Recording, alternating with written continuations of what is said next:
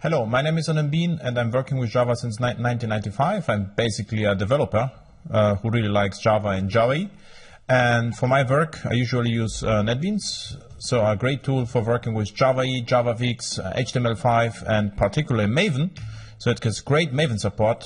Um, what I'm going to show you at, during the uh, JavaOne um, NetBeans Day um, and other sessions, I will create a very simple uh, Maven application, Java E 7 Maven application will look like this.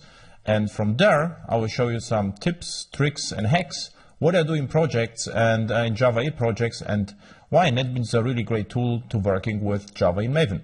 So see you at JavaOne at NetBeans Day. And um, other sessions, I will deliver a couple of sessions of JavaOne.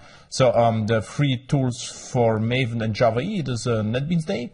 Then productive, productive JavaFX, I will use uh, NetBeans to create JavaFX applications.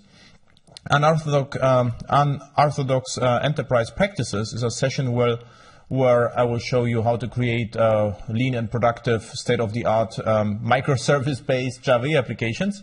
And um, Enterprise Nashorn is, um, is a session about uh, using um, JavaScript uh, together with uh, Java 8 and Java EE 7, also with NetBeans. And the only talk without NetBeans is uh, a discussion uh, about uh, Java 8 and the future.